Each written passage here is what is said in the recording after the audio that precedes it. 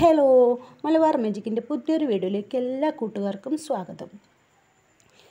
ഞാനിന്ന് ഉണ്ടാക്കാൻ പോകുന്നത് പോക്കറ്റ് ഒറോട്ടിയാണ് കേട്ടോ.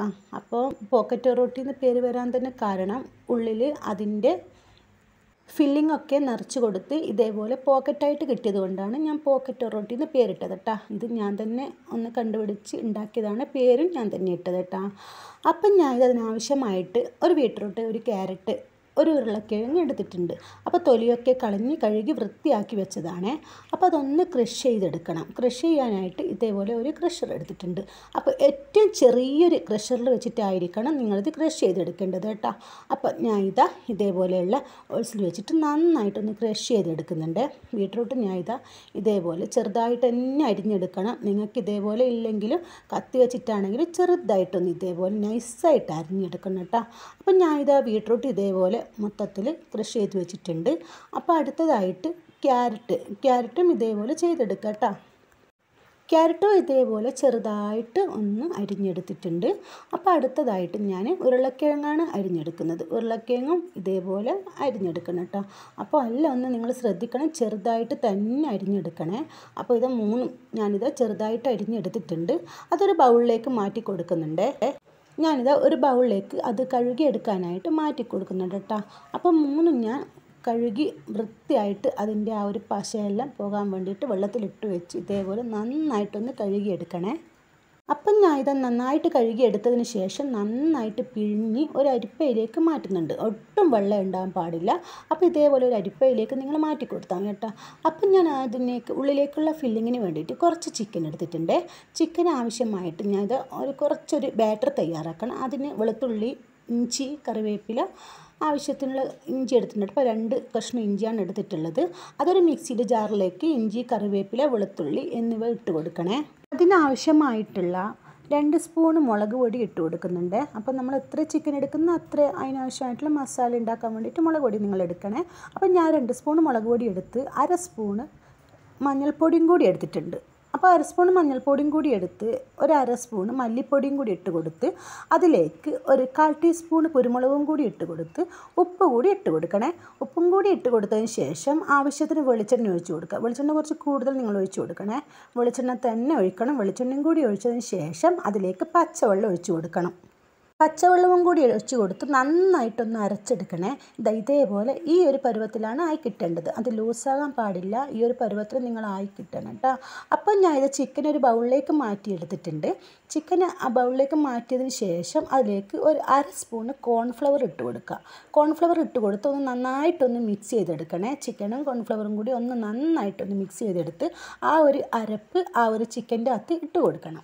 അപ്പോൾ ആ ഒരു അരപ്പ് കൂടി ഇട്ട് കൊടുത്ത് നന്നായിട്ടൊന്ന് മിക്സ് ചെയ്തെടുക്കണേ. ചിക്കന് നന്നായിട്ടൊന്ന് മസാല പിടിച്ച് കിട്ടട്ടെ.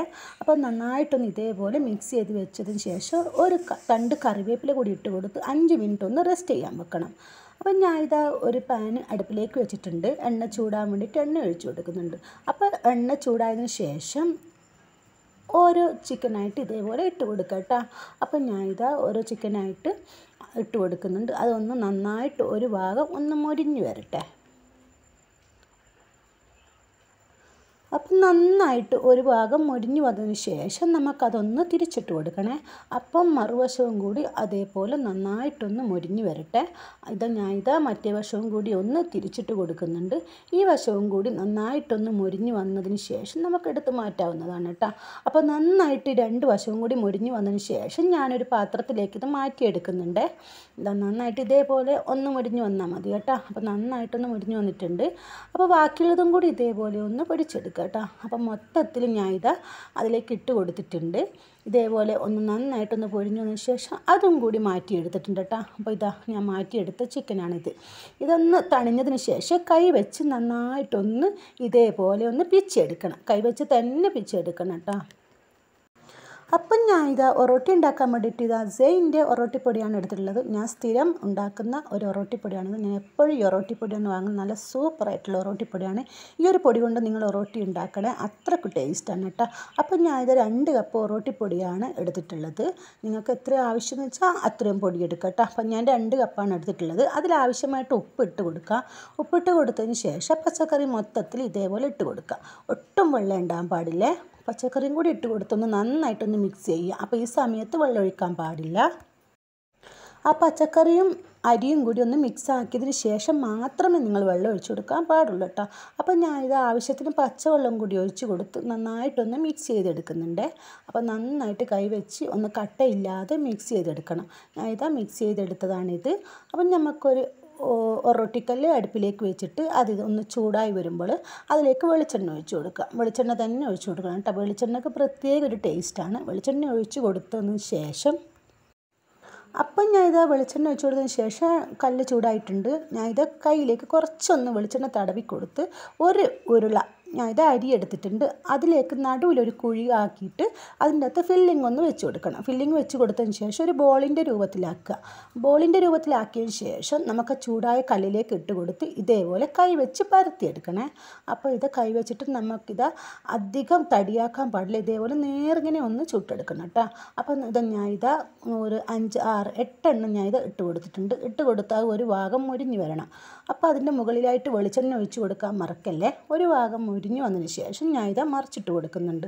നന്നായിട്ട് ഒരു ഭാഗം മുരിഞ്ഞതിന് ശേഷം മാത്രമേ തിരിച്ചിടാൻ പാടുള്ളൂ. അല്ലെങ്കിൽ ഇത് പൊട്ടിപ്പോകും കേട്ടോ. അപ്പോൾ ഞാൻ ഇത് മൊത്തത്തിൽ ഇതേപോലെ തിരിച്ചിട്ട് കൊടുക്കുന്നുണ്ട്.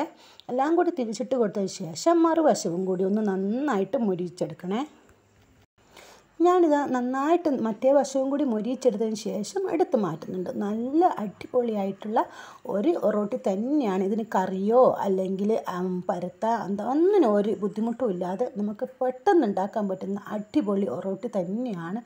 ഒട്ടും എന്താ ചൂടോട് കൂടി കഴിക്കാൻ അത്രയ്ക്ക് ടേസ്റ്റാണ്. എല്ലാവരും ഒന്ന് ഇത് തയ്യാറാക്കി നോക്കണേ. അപ്പോൾ എന്താ പറയുക ഞാനിത് എന്റെ ഒരു ബുദ്ധിയിൽ വെച്ചിട്ട് ഉണ്ടാക്കിയതാണ്. അപ്പോൾ അത്രയ്ക്ക് ടേസ്റ്റാണ്. ഒന്ന് ട്രൈ ചെയ്യണേ. അപ്പോൾ ഈ ചാനൽ ആദ്യമായി കാണുന്ന കൂട്ടുകാർ ആരെങ്കിലും ഉണ്ടെങ്കിൽ ഒന്ന് സബ്സ്ക്രൈബ് ചെയ്ത് സപ്പോർട്ട് ചെയ്യണേ. താങ്ക്